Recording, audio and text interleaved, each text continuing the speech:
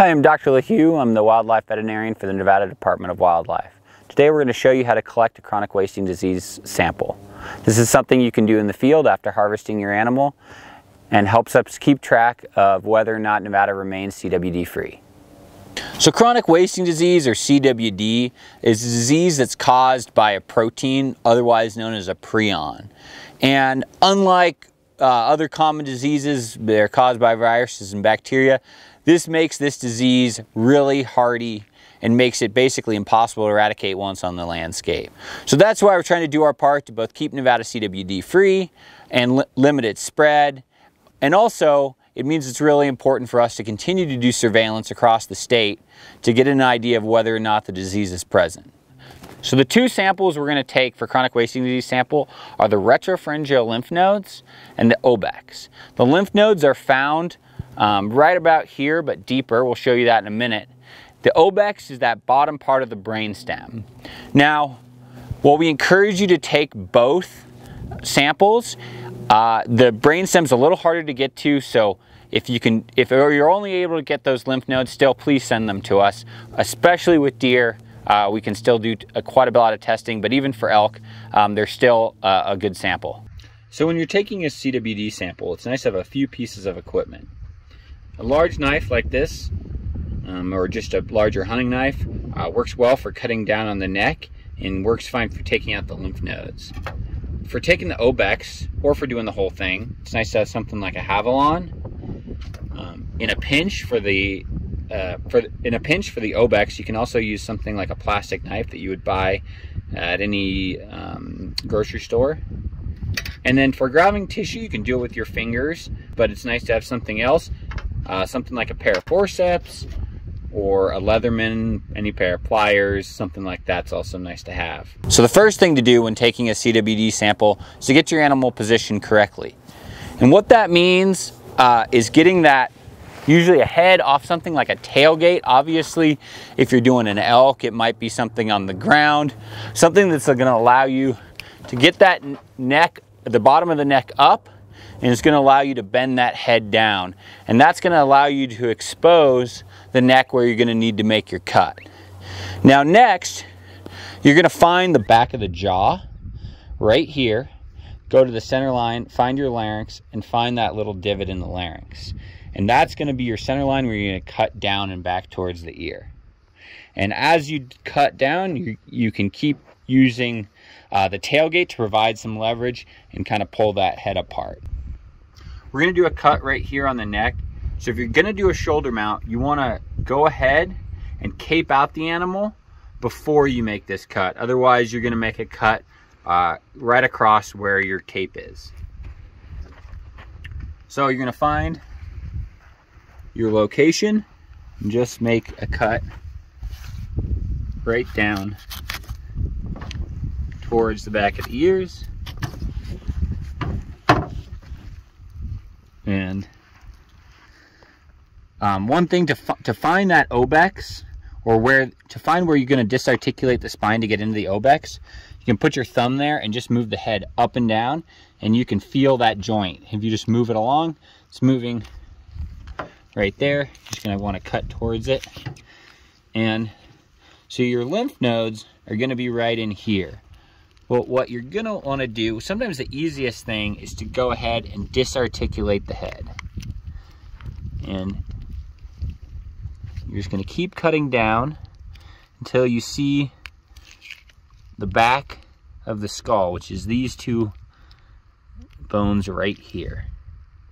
And then you just come along here, and you cut the ligaments that attach the skull.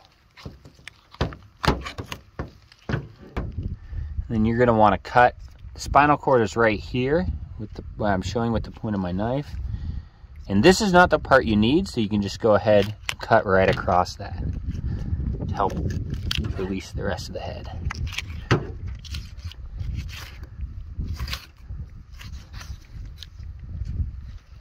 So one way to find the lymph nodes is to find the jaw with your thumbs, follow the jaw back, find the end of it, turn your thumb sideways, push them in, your lymph nodes are going to be right in there. So you're just going to cut down through the tissue. Sometimes you can use your hand to, to feel them.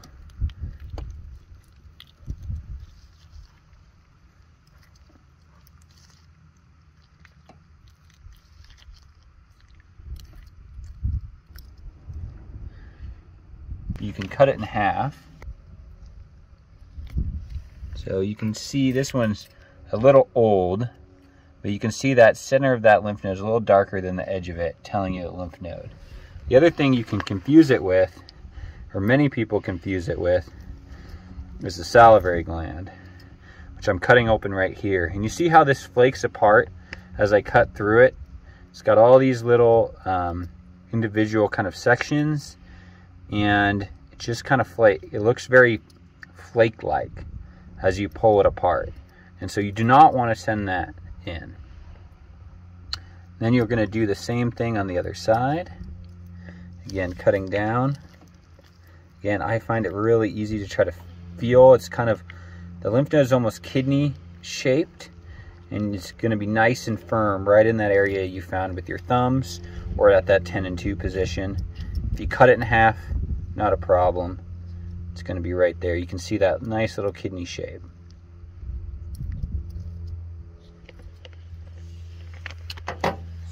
To remove the obex, um, one nice thing, if you have it, is actually a grapefruit knife, but your Havalon works just fine.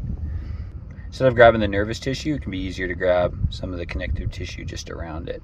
What you want to do is go all the way around and free that up. Mm-hmm.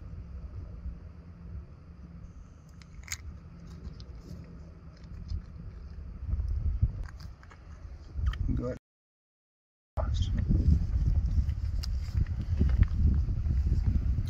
So, the part that you really need is where this split occurs. See, this is the brainstem. You can see that right here is this bottom part. And this split is what you're gonna need.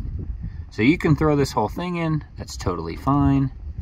Can also take a Havalon and just cut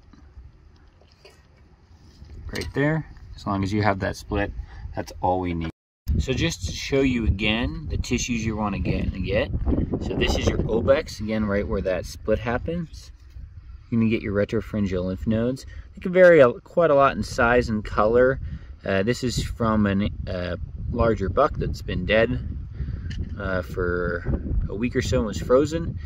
And then this is from a smaller fresh deer.